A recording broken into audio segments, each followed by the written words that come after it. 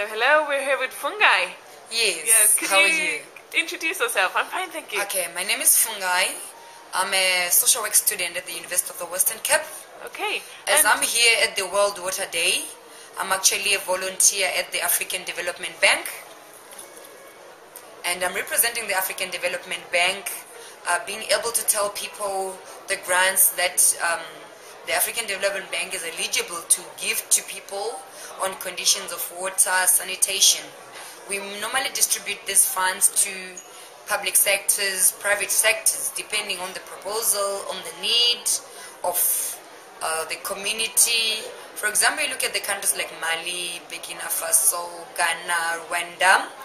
People fetch water in five kilometers away, 10 kilometers away, and there's no water, or people who are displaced because of floods and dams. We normally fund such people. And then I believe that in the well-being of people, most people would wonder why I'm not a research scientist, I'm not into science, why am I here?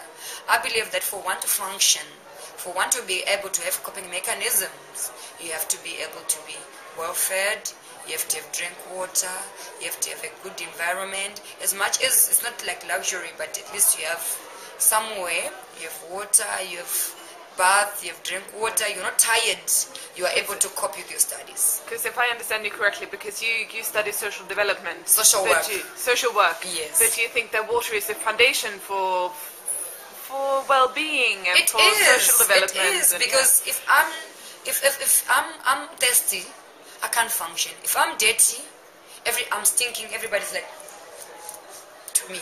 You understand? Yes. I f- it, it- it becomes unconducive for human functioning.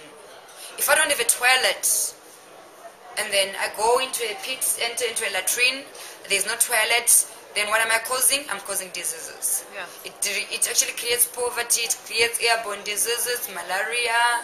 A lot of diseases are created through that. So what do you hope to see in the future? You, you're from Zimbabwe.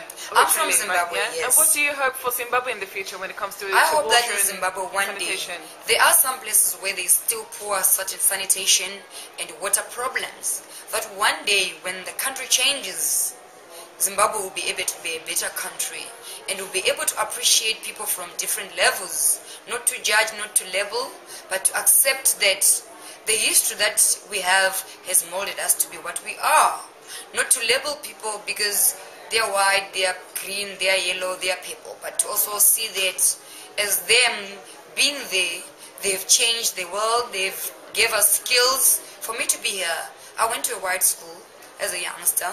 I'm able to, to, to, to interact with others. Here in South Africa, I can speak Xhosa, I can speak Afrikaans. I'm able to mingle with everyone, not really saying, why me? You understand? Yeah. I don't choose everyone. So I hope you can use that in the future and, and work towards a, a better world when it comes to water and sanitation. Yes, And it can contribute to that because it can actually lead people to mindsets. Actually, my main theme is on mindset.